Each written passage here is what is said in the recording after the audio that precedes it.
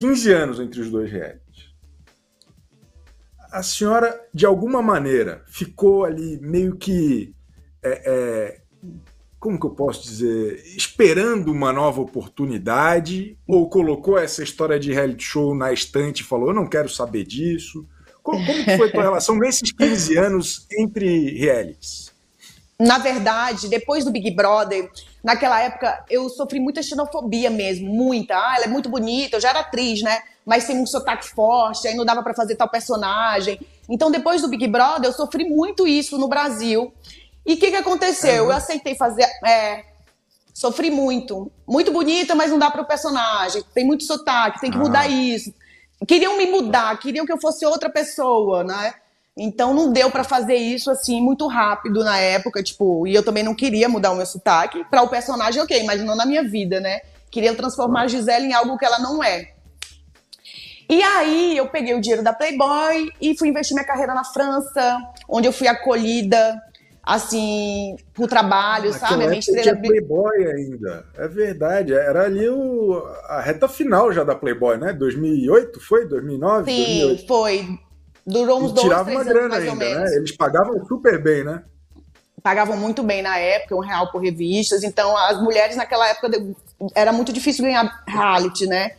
Né? Então, isso que salvava a gente. Aí me salvou, eu fui para Paris e tive essa carreira de 13 anos de sucesso, com muita força, muita luta. Não é fácil atuar em outra língua, viver no frio, longe da família, mas eu consegui. Eu, eu fui e consegui, Barro. E, e aí a senhora viveu esses 13 anos como atriz na França, é, Sim. Mas, mas, como que era daí a relação com, com a mídia no Brasil? Assim, a, a senhora ah, sentia a... falta, tinha esse desejo? Como que era? No meu desejo, eu fui para a Europa meio que uma. Um, sabe aquela vingança positiva? Eu me senti muito rejeitada naquela época aqui, do, de não ter ganho também. Eu não fiquei ah. muito contente. Quem, quem, quem fica três meses quer ganhar um milhão, né?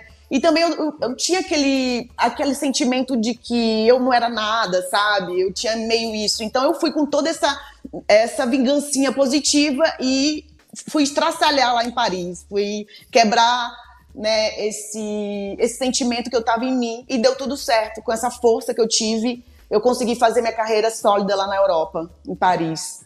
Na França, né? É aquela história de a melhor vingança é viver bem, né? Não tem essa história? É, é tipo tem. Tem, e, é isso. E era, e era uma fase, porra, 15 anos atrás, a, o, o termo ex-BBB, ou, ou mesmo a, a moral de um ex-BBB dentro do, do Star System brasileiro era muito diferente em relação Sim. aos últimos anos aqui é, é, no Brasil. Mudou muito.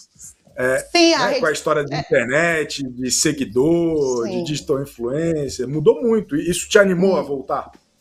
Sim, isso me animou a voltar. Principalmente, eu não queria mais ficar na Europa. Eu, eu decidi voltar definitivamente para o Brasil. Então, eu já fui sondado o ano passado. Eu ia entrar na Fazenda, aí não rolou. Aí, esse ano, eles tiveram esse formato novo, me chamaram. E aí, para mim, é muito importante, porque essa, essa visibilidade né, nas redes sociais, trazer isso de volta, me ajuda a ficar definitivamente no Brasil, perto da minha família. Então, eu aceitei sem refletir. E o fato de ter aceitado, eu falei, eu sou uma mulher agora indo para os 40, eu, vou, eu era muito tímida, tímida na época do Big Brother e eu vou me jogar. Eu quero viver isso mesmo, eu não quero saber, vou com tudo.